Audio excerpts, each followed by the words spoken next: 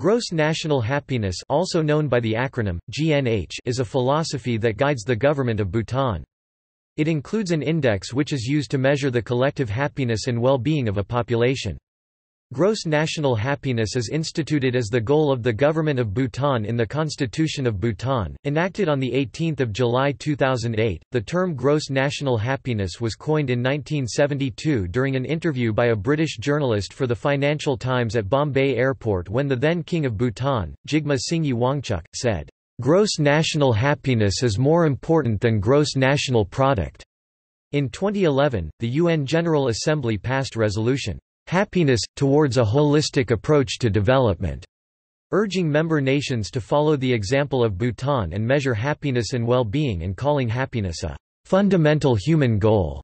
In 2012, Bhutan's Prime Minister Jigme Thinley and the Secretary-General Ban Ki-moon of the United Nations convened the high-level meeting, Well-being and Happiness, defining a new economic paradigm to encourage the spread of Bhutan's GNH philosophy.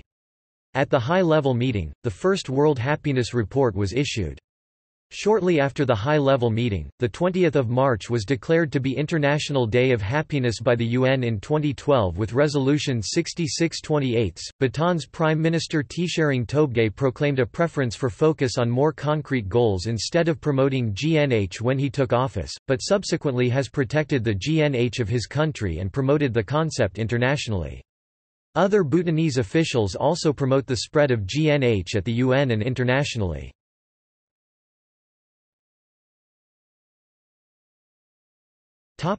GNH defined GNH is distinguishable from gross domestic product by valuing collective happiness as the goal of governance, by emphasizing harmony with nature and traditional values as expressed in the nine domains of happiness and four pillars of GNH. The four pillars of GNHs are 1 sustainable and equitable socio-economic development, 2 environmental conservation, 3 preservation and promotion of culture, and 4 good governance. The nine domains of GNH are psychological well-being, health, time use, education, cultural diversity and resilience, good governance, community vitality, ecological diversity and resilience, and living standards. Each domain is composed of subjective survey-based and objective indicators. The domains weigh equally but the indicators within each domain differ by weight. Topic implementation of GNH in Bhutan The Gross National Happiness Commission is charged with implementing GNH in Bhutan. The GNH Commission is composed of the secretaries each of the ministries of the government, the Prime Minister, and the Secretary of the GNH Commission. The GNH Commission's tasks include conceiving and implementing the nation's five-year plan and promulgating policies. The GNH index is used to measure the happiness and well-being of Bhutan's population. A GNH policy screening tool and a GNH project screening tool is used by the GNH Commission to determine whether to pass policies or implement projects. The GNH screening tools used by the Bhutanese GNH Commission for anticipating the impact of policy initiatives upon the levels of GNH in Bhutan. In 2008, the first GNH survey was conducted. It was followed by a second one in 2010. The third nationwide survey was conducted in 2015. The GNH survey covers all 20 districts and results are reported for varying demographic factors such as gender, age, abode, and occupation. The first GNH surveys consisted of long questionnaires that polled the citizens about living conditions and religious behavior, including questions about the times a person prayed in a day and other karma indicators. It took several hours to complete one questionnaire. Later rounds of the GNH index were shortened, but the survey retained the religious behavioral indicators. The Bhutan GNH index was developed by the Center for Bhutan Studies with the help of the researchers from Oxford University researchers to help measure the progress of Bhutanese society. The index function was based on Alkire and Foster method of 2011. After the creation of the National GNH Index, the government used the metric to measure national progress and inform policy. The Bhutan GNH Index is considered to measure societal progress similarly to other models such as the Gross National Well-being of 2005, the OECD Better Life Index of 2011, and SPI Social Progress Index of 2013. One distinguishing feature of Bhutan GNH Index from the other models is that the other models are designed for secular governments and do not include religious behavior measurement components. The data is used to compare the happiness between different groups of citizens, and changes over time.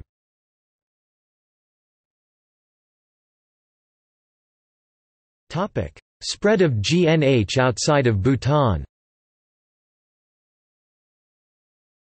In Victoria, British Columbia, Canada, a shortened version of Bhutan's GNH survey was used by the local government, local foundations and governmental agencies under the leadership of Martha and Michael Pennock to assess the population of Victoria. In the state of São Paulo, Brazil, Susan Andrews, through her organization Future Vision Ecological Park, used a version of Bhutan's GNH at a community level in some cities. In Seattle, Washington, United States, a version of the GNH index was used by the Seattle Seattle City Council and Sustainable Seattle to assess the happiness and well-being of the Seattle area population. Other cities and areas in North America, including Eau Claire, Wisconsin, Creston, British Columbia, and the U.S. state of Vermont, also used a version of the GNH index. At the University of Oregon, United States, a behavioral model of GNH based on the use of positive and negative words in social network status updates was developed by Adam Kramer. In 2016, Thailand launched its own GNH Center. The former king of Thailand, Bhumibol Adulyadej, was a close friend of King Jigme Singye Wangchuck, and conceived the similar philosophy of sufficiency economy. In the Philippines, the concept of GNH has been lauded by various personalities, notably Philippine Senator and UN Global Champion for Resilience Loren Legarda, and former Environment Minister Gina Lopez. Bills have been filed in the Philippine Senate and House of Representatives in support of gross national happiness in the Philippines. Additionally, Executive Director of Bhutan's GNH Center, Dr. Saamdu Chetri, has been invited by high-level officials in the Philippines for a GNH forum. Many other cities and governments have undertaken efforts to measure happiness and well-being, also termed beyond GDP, since the high-level meeting in 2012, but have not used versions of Bhutan's GNH index. Among these include the national governments of the United Kingdom's Office of National Statistics and the United Arab Emirates, and cities including Somerville, Massachusetts, United States, and Bristol, United Kingdom. Also a number of companies which are implementing sustainability practices in business have been inspired by GNH. Gross national happiness is also promoted in the United States by a nonprofit organization, Gross National Happiness USA. Headquartered in Vermont, GNH USA is a 501c tax-exempt nonprofit organization with a mission to increase personal happiness and the collective well-being by changing how the United States measure their progress and success. GNH USA was founded after Linda Wheatley of Montpelier, Vermont, attended the 2008 annual Gross National Happiness Research Conference in Thimphu, Bhutan. Wheatley returned to Vermont determined to introduce the little-known GNH concepts to the general public in the U.S. after establishing the nonprofit in the spring of 2009. Representatives of the group attended the 5th International GNH Research Conference in Brazil in November 2009 and, in June 2010, hosted the first U.S.-based conference on gross national happiness and other alternative indicators, at Champlain College in Burlington, Vermont. In May 2012, GNH USA with co-sponsors organized Measure What Matters, a conference building a collaborative of data experts in Vermont. The state of Vermont's governor declared April 13 President Jefferson's birthday Pursuit of Happiness Day, and became the first state to pass legislation enabling development of alternative indicators and to assist in making policy. GNH USA collaborates with the Vermont Data Center to perform a periodic study of well-being in the state, as a pilot for other states and municipalities. The organization also collaborates closely with the Happiness Alliance in collecting online GNH data, based on the domain of happiness developed by Bhutan. In 2017, GNH USA initiated the process of establishing chapters in all 50 states to work with local governments and institutions on well-being initiatives, beginning with Wisconsin and North Carolina. The organization also promotes the UN-designated International Happiness Day March 20 as an opportunity to discuss the concepts of well-being with others at happiness dinners across the country.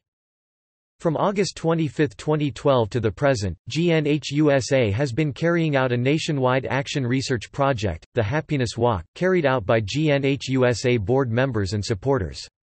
On the first leg, two GNH USA board members walked 594 miles, from Vermont to Washington, D.C. The walk most recently completed a leg from Santa Monica, CA to the Bay Area, with a side trip to Hawaii, and resumed March 1, 2018, walking from Petaluma, CA to Seattle, Washington, on the 13th leg of the journey.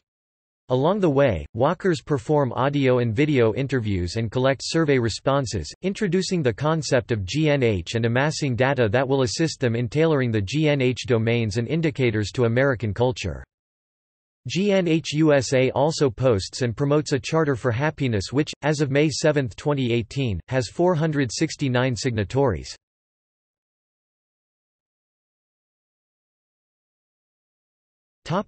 Criticism GNH has been described by critics as a propaganda tool used by the Bhutanese government to distract from ethnic cleansing and human rights abuses it has committed. Bhutanese democratic government began in 2008. Before that time the ethnic cleansing in Bhutan of non-Buddhist population of ethnic Nepalese of Hindu faith as a result of the GNH cultural preservation. The NGO Human Rights Watch documented the events. According to Human Rights Watch, over 100,000 or one-sixth of the population of Bhutan of Nepalese origin and Hindu faith were expelled from the country because they would not integrate with Bhutan's Buddhist culture. The Refugee Council of Australia stated that, "...it is extraordinary and shocking that a nation can get away with expelling one-sixth of its people and somehow keep its international reputation largely intact." The government of Bhutan should be known not for gross national happiness but for gross national hypocrisy. Some researchers state that Bhutan's GNH philosophy has evolved over the last decade through the contribution of Western and local scholars to a version that is more democratic and open. Therefore, probably, the more accurate historical reference is to mention the coining of the GNH phrase as a key event, but not the Bhutan GNH philosophy, because the philosophy as understood by Western scholars is different from the philosophy used by the king at the time. Other viewpoints are that GNH is a process of development and learning, rather than an objective norm or absolute end point. Bhutan aspires to enhance the happiness of its people and GNH serves as a measurement tool for realizing that aspiration. Other criticism focuses on the standard of living in Bhutan. In an article written in 2004 in The Economist magazine, the Himalayan kingdom of Bhutan is not in fact an idyll in a fairy tale.